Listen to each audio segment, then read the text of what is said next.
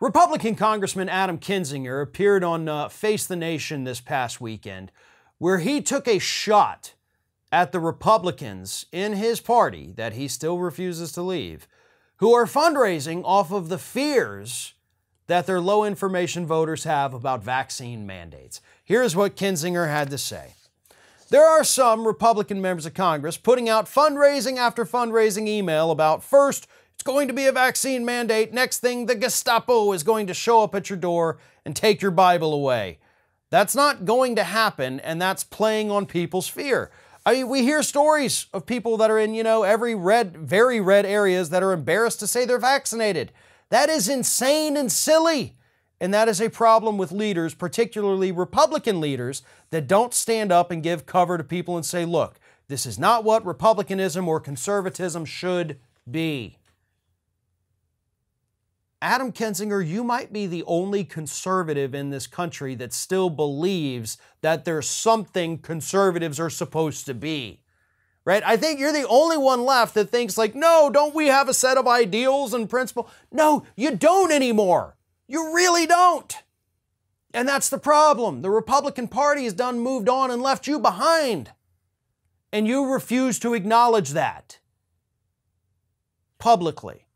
See, the problem is Kinzinger, folks, is still voting like nearly, you know, more than 90% of the time with his Republican Party. And that's what drives me crazy about stories like this. Yes, Kinzinger is right to call out these Republicans using these idiotic vaccine mandate fears to fundraise. But at the end of the day, he's still voting with these same people the people he's calling out and saying, You're betraying conservatism. Now, how are we going to vote on this uh, piece of legislation here? They, they fall in line with each other every single time. Kinzinger is no different than them, other than what he is saying publicly.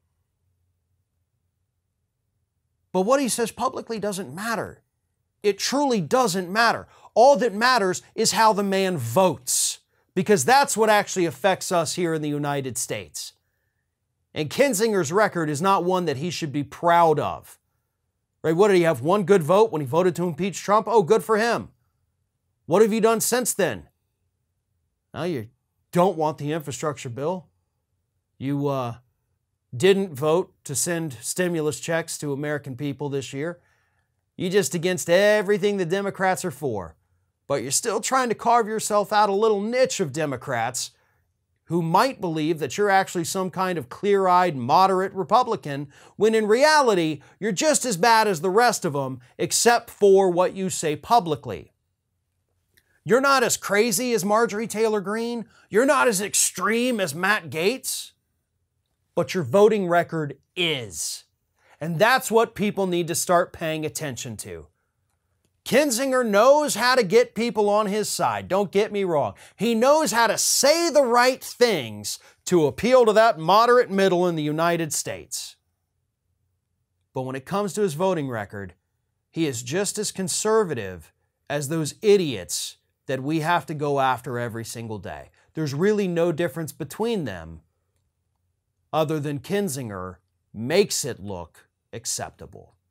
It isn't. It doesn't matter if it's coming from a Kinzinger or a Cheney or a Gaetz or a Marjorie Taylor Greene. It's all conservatism, and they all are, at the end of the day, on the same side against the American public. If you can't get enough Ring of Fire, we encourage everyone to subscribe to our channel for fresh video content seven days a week. And for even more from me, you can follow me on all social media outlets Twitter, Facebook, and Instagram at Farron Balanced.